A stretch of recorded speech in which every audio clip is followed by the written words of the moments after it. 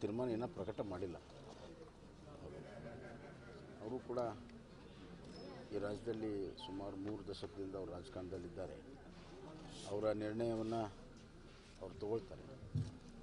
ಒಂದು ಅವ್ರದ್ದು ಅವ್ರದ್ದು ಬಿ ಜೆ ಪಿಯ ಒಂದು ಹಳೆಯ ಸಂಬಂಧ ಇರುವಂಥದ್ದು ಸತ್ಯ. ಅವರು ಸೂಕ್ತ ನಿರ್ಧಾರ ತಗೊಳ್ತಾರಂತ ನನ್ನ ವಿಶ್ವಾಸ. ಸುಮಲತೆ ಇವತ್ತು ನಿರ್ಧಾರ ಪ್ರಕಟಣೆ ಮಾಡ್ತಾರೆ.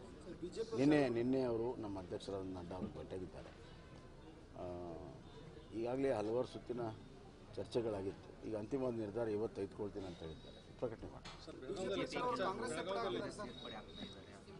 ನೋಡ್ರಿ ಹಲವಾರು ಕೆಲವೆಲ್ಲ ಊಹಾಪೋಹಗಳಿದೆ ಇನ್ನು ಈ ಎಲೆಕ್ಷನ್ ಸೀಸನ್ನಲ್ಲಿ ಈ ಕಡೆಯಿಂದ ಆ ಕಡೆ ಆ ಕಡೆಯಿಂದ ಈ ಕಡೆ ಹೋಗುವಂಥದ್ದು ಸಹಜ. ಯಾರಾದ್ರೂ ಬರೋರಿದ್ದಾವೆ ಸರ್? ಆ ಕಡೆಯಿಂದ ಯಾರಾದ್ರೂ ಬರೋರಿದ್ದಾರೆ ಸರ್? ಕಾದು ನೋಡಿ. ಸರ್ ಬೆಳಗಾವದಲ್ಲಿ ಜೊಲ್ಲೆ ಮತ್ತು ಜಾರಕಿಹೊಳಿ ಭಾಳ ಜಾಸ್ತಿ ಆಗ್ತಾ ಇರ್ತದೆ. ಇಲ್ಲ ಎಲ್ಲವೂ ಕೂಡ ಸಮರ್ಥವಾಗಿ ನಿಭಾಯಿಸುವ ಶಕ್ತಿ ನಮ್ಮ ಪಕ್ಷಕ್ಕೆ.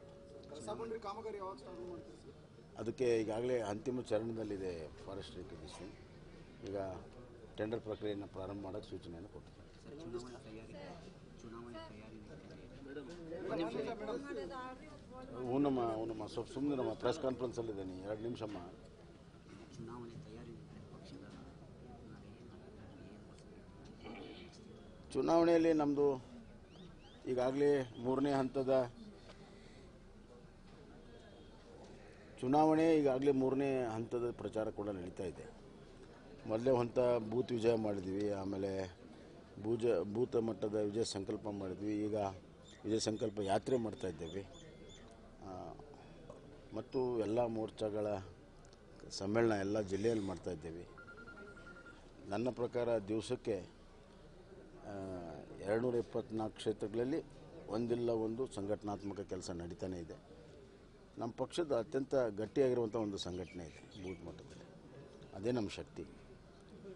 ಮತ್ತು ನಾವು, ನಮ್ಮ, ನಾನು ಮಾಡಿರುವಂಥದ್ದು, ಯಡಿಯೂರಪ್ಪನವ್ರು ಮಾಡಿರುವಂಥ ರಾಜ್ಯದಲ್ಲಿ ಕೆಲಸ. ನರೇಂದ್ರ ಮೋದಿಜಿಯವರು ಕೇಂದ್ರದ ಕಾರ್ಯಕ್ರಮಗಳು, ಇವೆಲ್ಲವೂ ಸೇರಿ ಬಹಳ ದೊಡ್ಡ ಪ್ರಮಾಣದ ಬೆಂಬಲ ಗ್ರೌಂಡ್ ಲೆವೆಲಲ್ಲಿ ಸಿಗ್ತಾ ಇದೆ.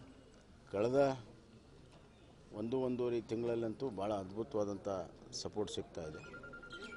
ಸಂಪೂರ್ಣವಾದಂಥ ಮೆಜಾರಿಟಿಯಿಂದ ಬಿ ಜೆ ಪಿ ಬರ್ತಿದೆ. ನಾನೆಲ್ಲೋ ನೋಡಿದೆ, ಡಿ ಕೆ ಶಿವಕುಮಾರ್ ಅವ್ರನ್ನ ಅರವತ್ತೈದು ಬರ್ತಿದೆ ಅಂತ. ಬಹುತೇಕವಾಗಿ ಅವ್ರ ಪಕ್ಷದ ಸರ್ವೆ ನೋಡ್ಕೊಂಡು ಹೇಳ್ತಾ ಇದ್ದಾರೆ ಕಾಂಗ್ರೆಸ್ಗೆ ಅರವತ್ತೈದು ಬರ್ತಿರ್ಬೋದು, ಅದಕ್ಕೆ ಆ ರೀತಿ ಹೇಳ್ತಾ ಇದ್ದಾರೆ. ಇಲ್ಲ, ನಾವು ಹಾಲಿ ಪ್ರಶ್ನೆನಿಲ್ಲ ಅದು ಸರ್ವೆ ಮಾಡ್ತಾರೆ. ಸರ್ವೆದಲ್ಲಿ ಏನು ಬರುತ್ತೆ ನೋಡ್ತಾರೆ. ಆಮೇಲೆ ರಾಜಕೀಯವಾಗಿ ಎದುರಾಳಿ ಯಾರು? ಹಲವಾರು ಆಯಾಮಗಳಿದೆ.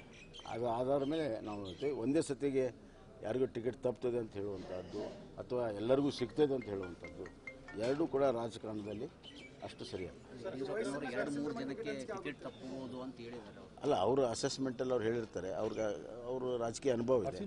ಅವ್ರ ಅಸೆಸ್ಮೆಂಟ್ ನಾವು ಗೌರವಿಸ್ತೀವಿ.